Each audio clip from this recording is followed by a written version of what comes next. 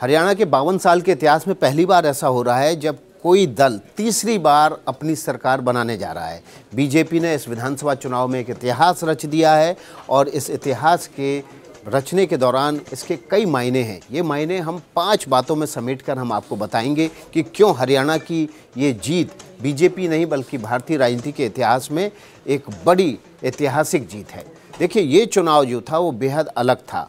लोकसभा चुनाव के तुरंत बाद ये चुनाव हो रहा था। लोकसभा चुनाव में बीजेपी बीजेपी को पूर्ण बहुमत नहीं मिला था। हरियाणा में मनोहर लाल खट्टर को बदलकर नए सीएम नायब सिंह सैनी को बिठाया गया था। और जो जो नरेटिव था, वो ये बनाया गया था कि बीजेपी हरियाणा हारने जा रही है और जाट और दलितों का जो कंसोलिडेशन है, वो हो चुका है, ध्रुवीकरण मतों का हो चुका है। ऐसी सूरत में बीजेपी का वहाँ सफाया होना तय है। लेकिन यहीं से काम शुरू हुआ। बीजेपी ने आरएसएस का हाथ पकड़ा। आरएसएस ने छोटी बड़ी मिला के कुल बीस हज़ार से ज़्यादाएँ छोटी बड़ी सभाएँ की। ये सभाएँ छोटे, या तो किसी के घर में हुई, या किसी के चौराहे पर छोटी सी सभा हुई, या किसी घर की छत पर बैठ के हुई, या गाँव की चौपाल पर हुई, और यहाँ पर जो नॉन जाट मतदाता है, उसको कंसोलिडेट करने के लिए आरएसएस ने एक बड़ा रोल प्ले किया। और इसी आरएसएस के प्रयासों की वजह से बीजेपी को वहाँ ग्राउंड पर नॉन जाट का एक बड़ा समर्थन मिला, जो कि ये माना जा रहा था कि वो 10 साल की बीजेपी की सरकार से या मनोहर लाल खट्टर मनोहर लाल खट्टर की सरकार से ऊब चुका है और वो बीजेपी के पक्ष में वोट नहीं करना चाहता है। और इसके बाद यहाँ पर एक बड़ी शुरुआत जो हुई और उसने जो आज के परिणाम है उनकी तस्वीर बदल के रख दी। दूसरी वजह दूसरी वजह यह है कि जो नॉन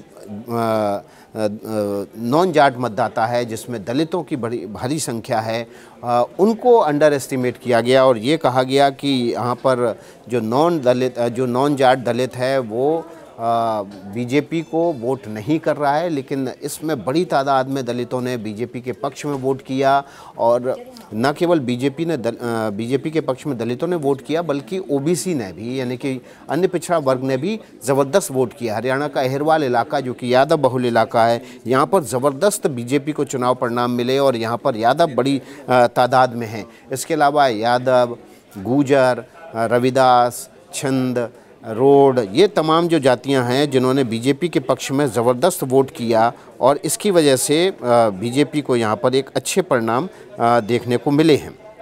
इसके अलावा मैं आपको बता दूँ, जो महत्वपूर्ण बात यहाँ पर देखने में आई, वो ये थी कि केवल ओबीसी या दलितों ने नहीं, बल्कि ओबीसी की जो अन्य जातियाँ हैं, उनमें कश्यप, प्रजापति, छिंदे गडरिया वाल्मीकि ये दलित जाति है, बाजीगर, सेंसी, धानक, कबीरपंथी शरीके, ये तमाम जो वर्ग थे जो दलित वर्ग से भी ताल्लुक़ रखते हैं, अन्य पिछड़ा वर्ग से भी आते हैं, उन्होंने बीजेपी के पक्ष में चुपचाप, साइलेंटली वोट किया और इसकी भनक जो है नहीं लगी किसी को भी और इसलिए एग्जिट पोल भी धराशायी होके रह गए।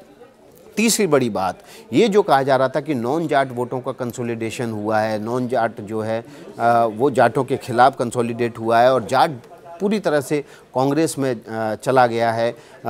बीजेपी से बिल्कुल छिटक गया है।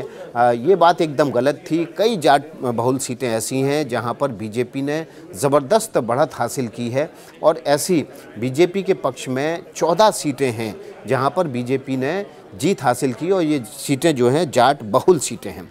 चौथा बड़ा कारण है, वो है हरियाणा में मुख्यमंत्री बदलने का ट्रंप कार्ड खेलना। देखिए मनोहर लाल खट्टर की सरकार को उनके मुख्यमंत्री के कार्यकाल को लगभग दस वर्ष होने जा रहे थे। उनके खिलाफ ज़बरदस्त एंटी कम्बेंसी थी। मनोहर लाल खट्टर के बारे में ये कहा जाता था कि वो बहुत रूड हैं, लोगों से मिलते नहीं हैं, कार्यकर्ताओं की सुनते नहीं हैं। और ऐसी सूरत में एक खास वर्ग था, वो मनोहर लाल खट्टर के बेहद खिलाफ हो गया था।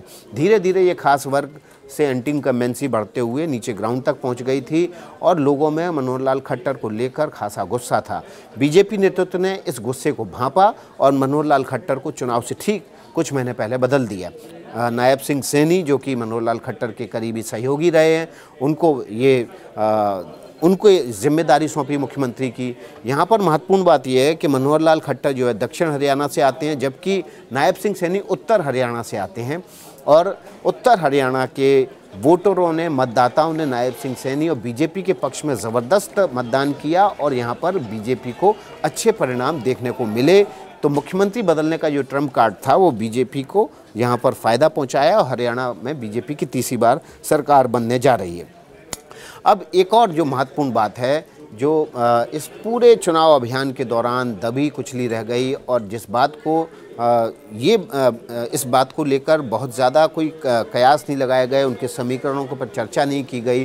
वो ये थी कि जो जाट बहुल इलाके हैं या जाट जो है पावर कॉरिडोर में रहने वाली बिरादरी है, वो बहुत ज़्यादा वोकल थी और उसके वोकल होने की वजह से जो आम हरियाणवी था जो नॉन जाट हरियाणवी था उसको ये महसूस हो रहा था कि एक बार फिर से जाटशाही की सरकार आ गई तो उनके लिए आ, उनके लिए बहुत मुश्किल हो सकती हैं और धीरे धीरे साइलेंटली ये नॉन जाट का कंसोलिडेशन हुआ जिसमें तम राजनीतिक दल से लेकर जो नॉन राजनीतिक लोग थे उन्होंने भी इसमें एक बड़ा रोल प्ले किया और यही वजह हुई जो पाँचवीं बड़े वजह बनी।